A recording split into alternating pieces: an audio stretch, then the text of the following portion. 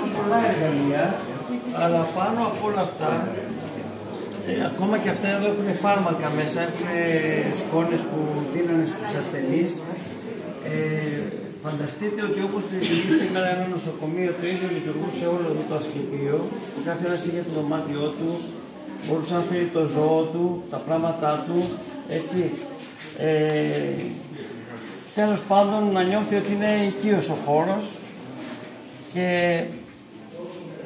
τι άλλο να σας πω τώρα εδώ; Να σας πω για αυτά εδώ. Αυτά εδώ είναι αρωματιστές που φοράγανε πάνω τους οι άνθρωποι, στο μανδύα τους, ε, εδώ που έμπαινε η πόρτη, το δένανε και είχε φελουδάκι.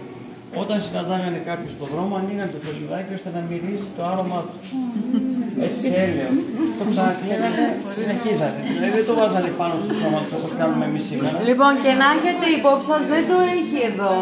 Το εργαλείο που κάνουν για, την, για το άνοιγμα του κόλπου, Είναι στο εθνικό αρχείο. πώς το λένε αυτός, Κολποδιαστολέας. ο κολποδιαστολέας έχει βρεθεί από την αρχαιότητα μέχρι σήμερα, παιδιά, είναι ο ίδιος. Εμένα τέτοιο Πώς το σιδερένιο ξέρανε μου ότι θα έβαλε ο είναι γιατρός όταν είχα πάει πρώτη φορά. Δεν είχαμε ακόμα τους πλαστικούς. είναι Και χάρτινος, όταν το έτσι. είδα, και όταν το είδα στο μουσείο, έπαθα σοκ. Λέω, πιστεύω, λέω, τίποτα